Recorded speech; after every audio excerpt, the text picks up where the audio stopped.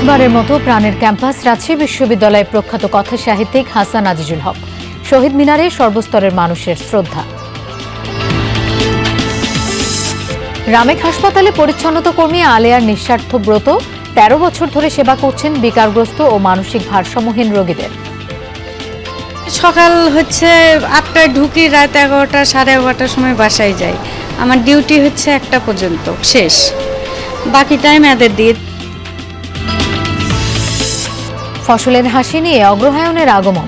প্রকৃতিতে পাকা ধানের ঘ্রাণ নবান্ন উৎসবে মেতে উঠেছে গ্রাম বাংলা। নতুন ধান চাল সবার ঘরে ঘরে যখন উঠে চলে আসে তখন আমরা খুব ভালো থাকি। পুলি পিঠা পাকান পিঠা কুশলি পিঠা বিভিন্ন রঙের পিঠা খাওয়া হয়। সুনামগঞ্জের কামারখাল দখলের মহোৎসব উচ্ছেদের বদলে ইমারত গড়েছেন পৌর মেয়র নিজেই। উৎস মুখ ভরাট করায় ব্যাহত পানি নিষ্কাশন।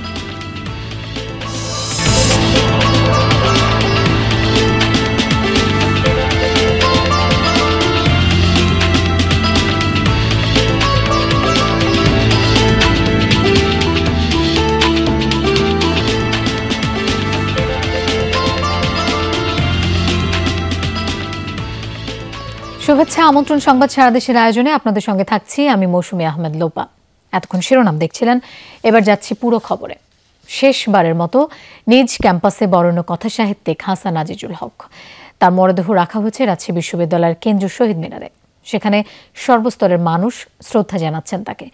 এর আগে মরদেহ নেওয়া হয় লেখকের স্মৃতি বিচরিত দর্শন বিভাগে। সহকর্মী মৌদুদ রানা বিস্তারিত জানাবেন। আমাদের সাথে সরাসরি যোগ দিচ্ছেন তিনি। রানা, আর কতক্ষণ স্যারের মরদেহ শহীদ মিনারে রাখা হবে পরে কোথায় নেওয়া হবে?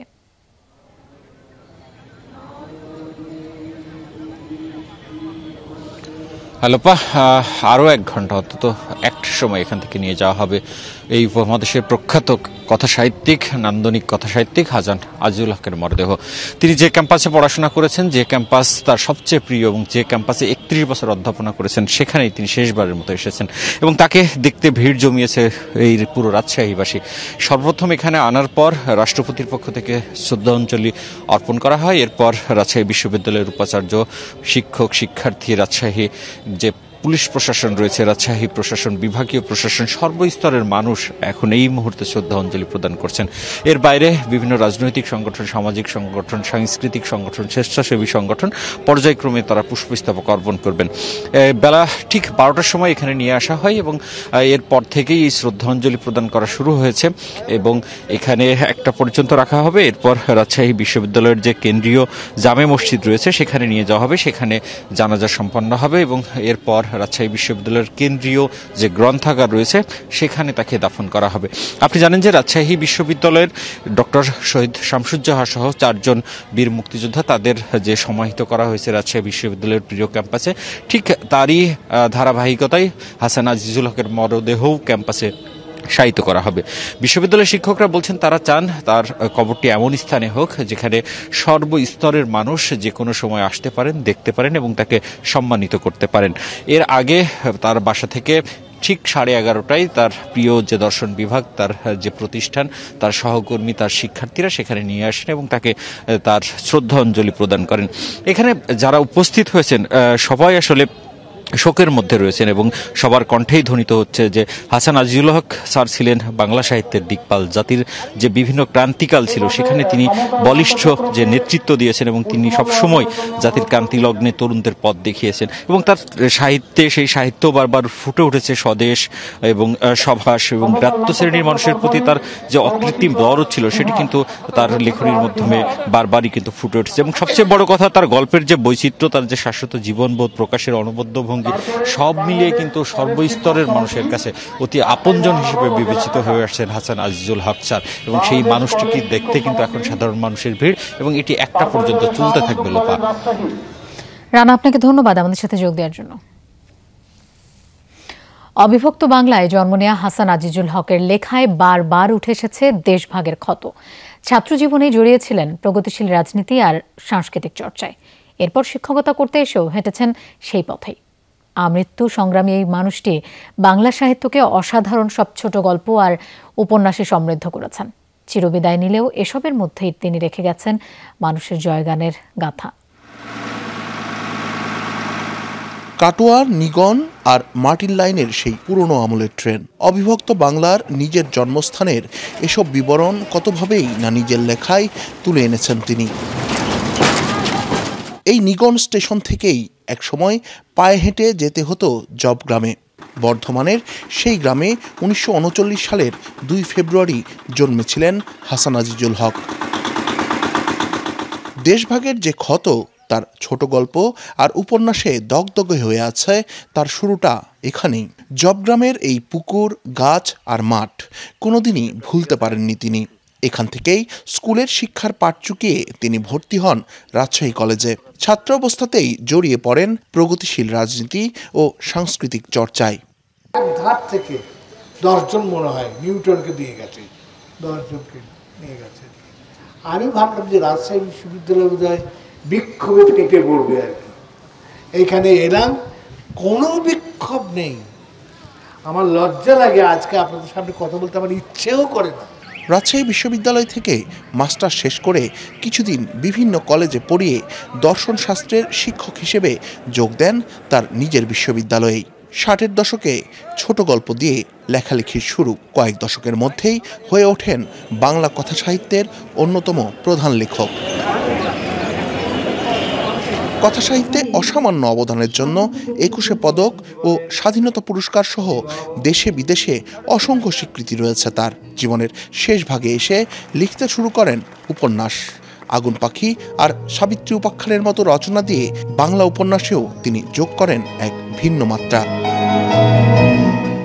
দু হাজার চার সালে শিক্ষকতা থেকে অবসর নিয়ে রাজশাহীতেই নিজ বাড়ি উজানে বসবাস করছিলেন তিনি। আজীবন ছিলেন সংগ্রামী আর আশাবাদী এক মানুষ। আশাহত হয়ে পৃথিবীতে বেঁচে থাকা যায় না? কাজেই যতদিন বেঁচে থাকি, ওই আর কি। যতদিন দেহে আছে প্রাণ, ততদিন আমাদের হ্যাঁ জীবন ধারণ করতেই হবে হ্যাঁ। এবং সেটা সেই জীবনটাকে তুমি ভালোবাসো বা না বাসো কিন্তু তাও তোমার সেখানে ওই জীবনের মধ্যে কখনো আনন্দ, কখনো দুঃখ, কখনো বিষাদ, এগুলো তো আসবেই। প্রকৃতির অমোঘ নিয়মে আমাদের মাঝ থেকে চিরবিদায় নিলেন হাসান আজিজুল হক। কিন্তু রেখে গেলেন মানুষের জয়গানের গাথা, এক নতুন বিনির্মাণের স্বপ্ন। শিবরিনমান যমুনা নিউজ, রাজশাহী। শীতের আমেজে হাজির সুমঙ্গলা অগ্রহায়ণ। মাঠের সোনালি ধান উঠছে কৃষকের গোলায়। নতুন ধানের ঘ্রাণে মোমো করছে প্রকৃতি। নবান্ন উৎসবে মেতে উঠেছে গ্রাম বাংলার প্রতিটি ঘর। অগ্রহায়ণের প্রথম দিনে বাংলার রূপরস গন্ধের খবর জানাচ্ছেন সহকর্মী শফিক ছোটন। রঙের ঋতু, অনুভবের ঋতু হেমন্ত। এর প্রতিটি প্রহর যেন মুগ্ধতার। ভোরের কুয়াশা দেয় হিম শীতল পরশ। সাত সকালে ঘাসের ডগায় জলজল করে শিশির কণা ধরা দেয় হেমন্তের মায়াবী রূপের ঝলক। উৎসবের ঋতু হেমন্তেই নবান্ন তা বাংলার আদি সংস্কৃতি। চাষির জীবনে বয়ে আনে নতুন সুর নব উচ্ছ্বাস। রক্ষার মাসটাকে আমাদের ভালো লাগে আনন্দ লাগে ধান আসে। এই যে নতুন ধান নতুন নতুন উৎসব আমাদের কাছে। পাকা ধানের মিষ্টি গন্ধে মাতোয়ারা কৃষাণ কৃষানি চোখে মুখে স্বপ্ন সুদিন ফেরার। অগ্রহায়ণ মাসে আমাদের মনে করেন যে নতুন ধান চাল সবার ঘরে ঘরে যখন উঠে চলে আসে তখন আমরা খুব ভালো থাকি। হেবি সুন্দর। মানে এলাকা মানে ইয়া হয়ে গেছে ধানের এত সুন্দর গন্ধ। ভোর থেকে দুপুর পর্যন্ত মাঠে থাকে চাষির ব্যস্ততা। বেলা গড়ালেই ধূসর প্রকৃতি। নতুন ধানে ভরে ওঠে বাড়ির আঙ্গিনা ধান কাটার মৌসুমের শেষে হয়তো পিঠা পায়েস তৈরি করছে। একজন আত্মীয় আরেকজন আত্মীয় দাওয়াত দিচ্ছে। আটা পিঠা পুলি পিঠা পাকান পিঠা কুশলি পিঠা হ্যাঁ অনেক চিতই পিঠা বিভিন্ন রঙের পিঠা খাওয়া হয়। এবার দেয় কুটুম লিয়ে আসমো জামাই যারা লিয়ে আসমো পিঠা উঠি খামো। এরাই তো বিরাট কিছু।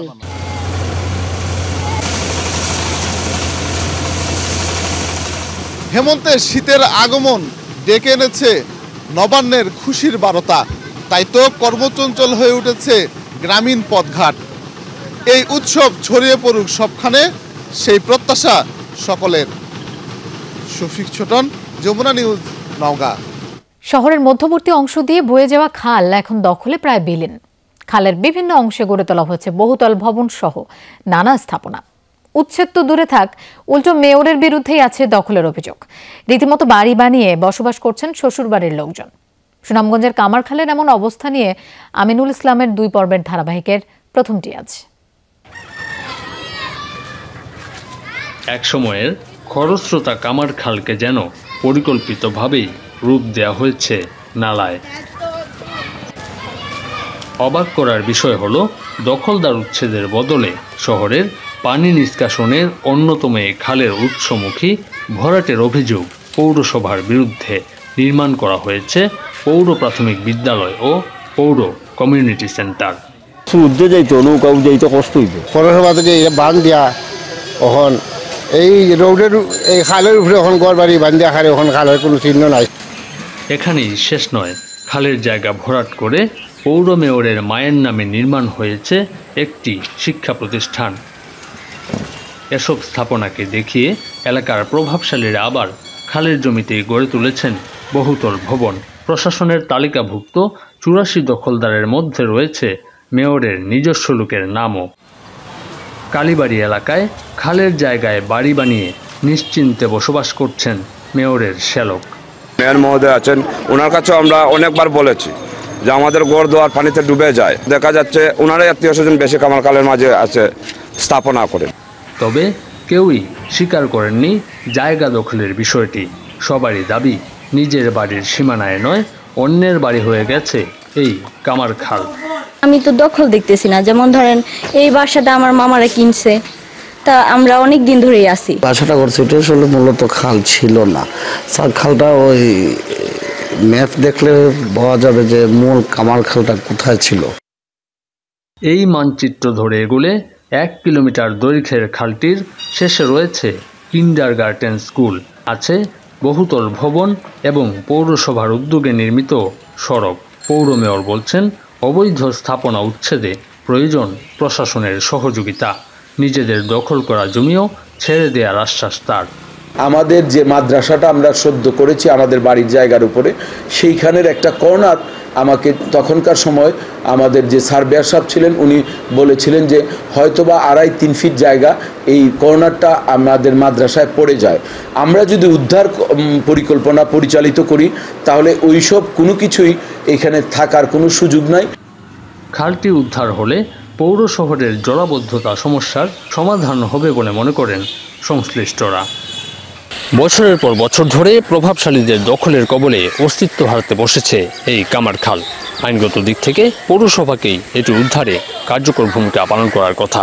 যদিও পৌর মেয়রের মায়ের নামেই মাদ্রাসা সহ তার স্বজনদের দখলদারিত্বের বিষয়টি তালিকায় স্পষ্ট। তাই এ ধরনের অভিযান আলোর মুখ আদৌ দেখবে কিনা সেটি এখন প্রশ্ন রয়েই যায়। আমিনুল ইসলাম, যমুনা নিউজ, সুনামগঞ্জ। বেকারগ্রস্ত কিংবা মানসিক ভারসাম্যহীন। কারও শরীর বা হাত পায়ের অংশ পচা, কারও শরীরে ধরেছে পোকা। চরম সংকটময় পরিস্থিতিতেও পাশে নেই স্বজন। এমন অসুস্থ অভিভাবকহীন মানুষদের সেবাই একমাত্র ব্রত হিসেবে নিয়েছেন রাঁচি মেডিকেল কলেজ হাসপাতালের দৈনিক মজুরি ভিত্তিক কর্মী আলেয়া বেগম। গত ১৩ বছর ধরে নিজের সামর্থ্যের সর্বোচ্চটা দিয়ে শত শত দুঃখী অসুস্থ মানুষের মুখে হাসি ফোটাচ্ছেন এই শ্রমজীবী নারী। রাজশাহী মেডিকেল কলেজ হাসপাতালের আট নম্বর ওয়ার্ডের বাইরে পাশাপাশি অনেকগুলো বেড।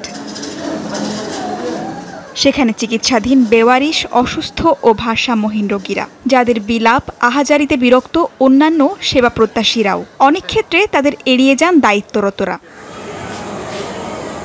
তবে ব্যতিক্রম আলেয়া বেগম দৈনিক মজুরির ভিত্তিতে হাসপাতালে পরিচ্ছন্নতা কর্মীর কাজ করা আলেয়ার কাজ স্বজনহীন রোগীদের সেবা শুশ্রূষা করা। তা করতে করতে পরিণত হয়েছে নেশায়। তেরো বছর ধরে হাসপাতালে আসা এমন শত শত রোগীর স্বজন হয়ে দিয়ে যাচ্ছেন সেবা। মুখে তুলে শুদ্ধা খাওয়াইবো। আমার এই শুদ্ধা মানে কিরম জানি লাগে আর আর ওরম লাগে না। উনি কখনো বুঝতেই দেয় না যে ইনাদের কেউ নেই।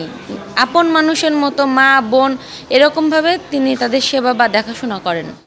এমন কর্মকাণ্ড নিয়ে হাস্যরস করেন অনেকে। কেউ কেউ বলেন কটু কথাও কিন্তু নিজের মন যা বলে তাই করে চলেছেন আলেয়া। নিজের সামান্য উপার্জনের পুরোটা খরচ করেন রোগীদের জন্য। কখনো চেয়ে চিনতে এনেও করেন সহায়তা। আমি যে সকাল হচ্ছে আটটায় ঢুকি রাত এগারোটা সাড়ে এগারোটার সময় বাসায় যাই।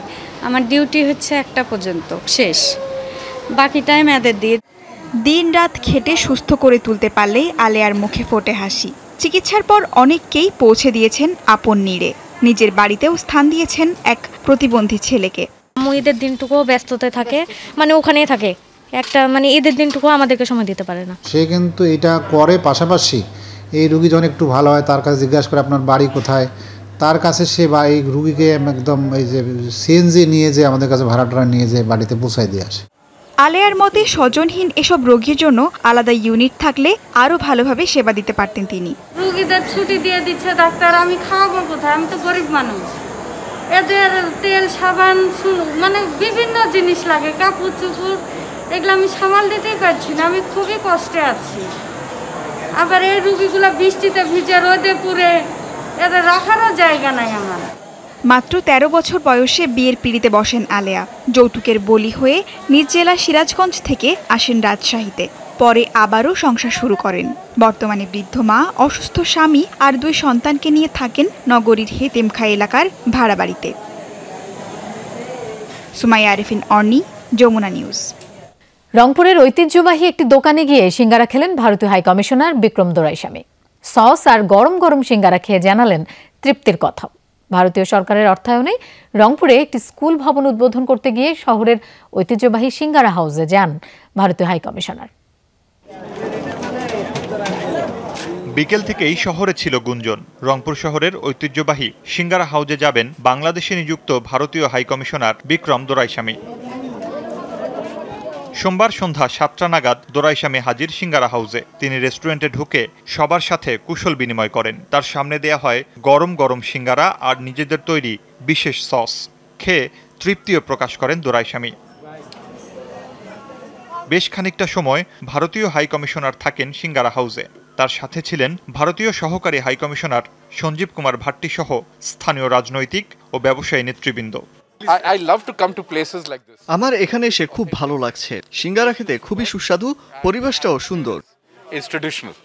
এইভাবে অনেক ভালো লাগল। রংপুর শহরের জাহাজ কোম্পানির মোড়ে সিঙ্গারা হাউস প্রতিষ্ঠিত হয় উনিশশো ষাট সালে। মুর্শিদুজ্জামান হিমু যমুনা নিউজ। এই ছিল সংবাদ সারা দেশের এখনকার আয়োজনে আর এতক্ষণ সঙ্গে থাকার জন্য ধন্যবাদ সবাইকে।